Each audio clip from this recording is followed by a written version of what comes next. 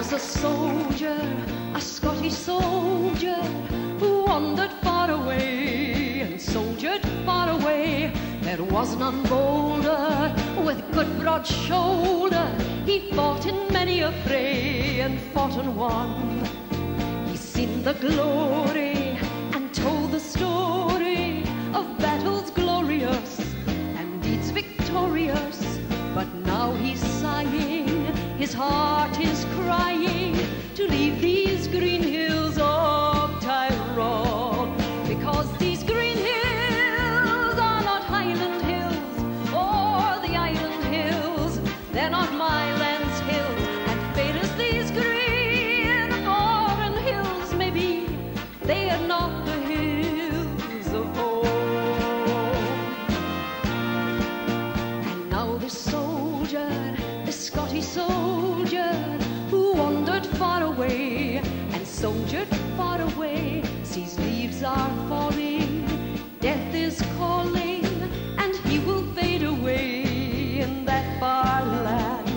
He called his piper, his trusty piper, and bade him sound a lay.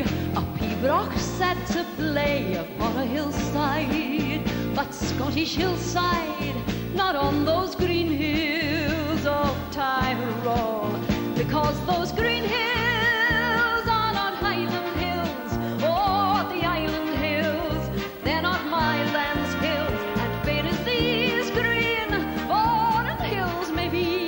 they are not the hills of home.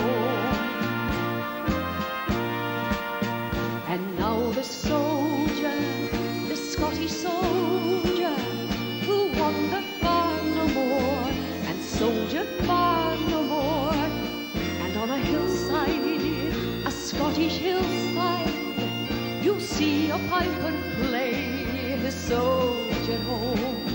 He's seen the glory the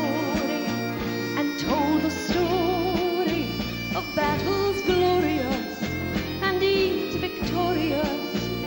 The bugle cease now, he is at peace now, far from those green hills of Tyrol. Because